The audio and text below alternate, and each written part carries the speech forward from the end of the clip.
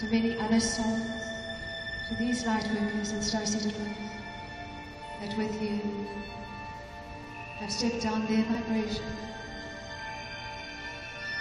that with you are assisting in co-creating heaven on earth,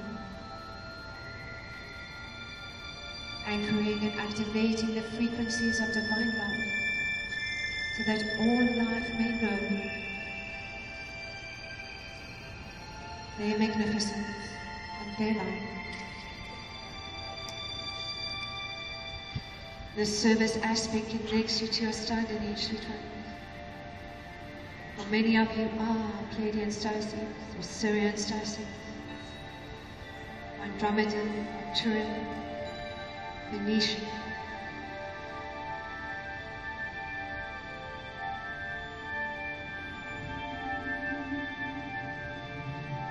This remembrance is coming more. And as we move through this DNA activation throughout the day, may find a greater level of remembrance and knowing as you connect to one another through these multi-dimensional realities. The DNA further activates these dormant memories activate and you further experience many of your gifts? Of telepathy or clairvoyance or clairaudience their sentient and know this to be your gifts with them although you cannot compare yourselves to another you are immeasurable in your life. Immeasurable in your magnificence your preciousness and so we come together now so that you may assist the many legions of light from on high to affect and create change on this earth. It is through your manifestation, sweet ones. It is manifesting, co-creating master beings that you bring into your reality all that you need in any given moment. That you anchor your vibration of love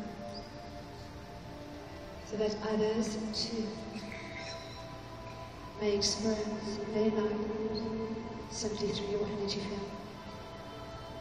That you anchor the key codes of your magnificence to the unity codes of the light body of Mother Earth.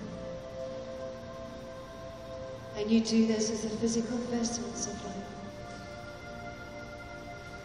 So let us join now as one unified cosmic heart as we travel together now in an external of light, in a light show, through the breaths of divine love, stellar radiation.